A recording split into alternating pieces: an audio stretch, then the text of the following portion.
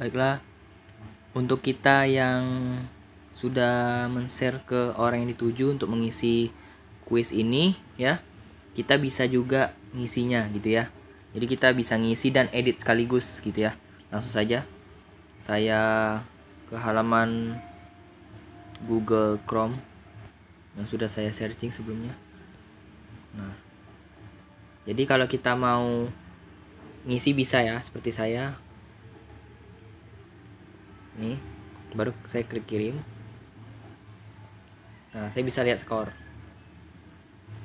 Ini kalau saya ngisi itu ya. Ini karena sudah saya atur sebelumnya untuk ada penyekorannya ya. Jadi bisa diatur.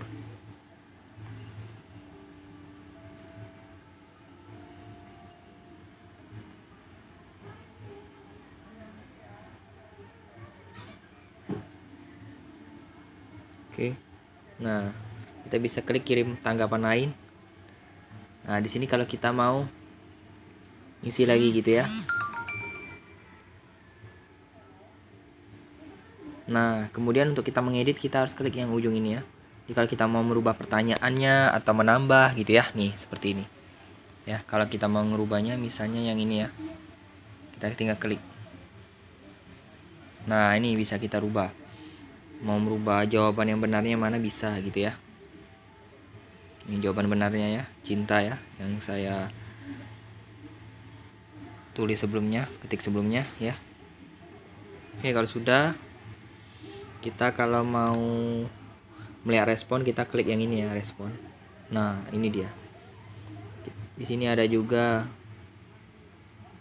penilaian penilaiannya ya berapa orang yang jawab bisa kita lihat gitu ya nah dan kemudian bagi yang mau menyalin gitu ya atau mengambil datanya bisa diupload ke uh, Google Spreadsheet ya yang ini ya.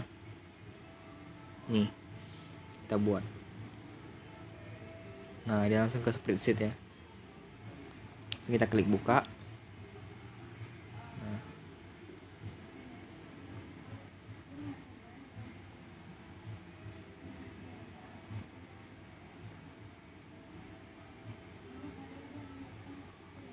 nah ini ada tanggal penjawab yang mengisinya gitu ya.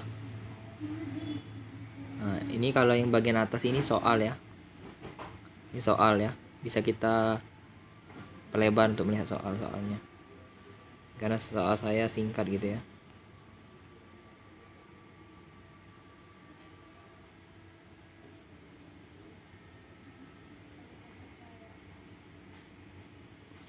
Ini jawabannya ya inilah 100 per 100 karena benar semua